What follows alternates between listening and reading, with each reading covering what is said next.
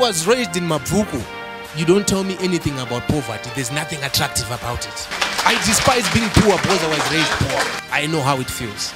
The reason why we have the shift in Mikus is because in Inipandai Kura, it was a taboo to put Mikusa. We were not allowed. This is the reality and the irony of life. Open your eyes and see. If you want to change the continent, if you want to change your life, if you want to change your personal branding, you've got to change your focus. Your, your network determines your net worth. And I know at Shift you guys have been taught that. This committee is not balanced. I'm trying to create a platform for the players who want to play.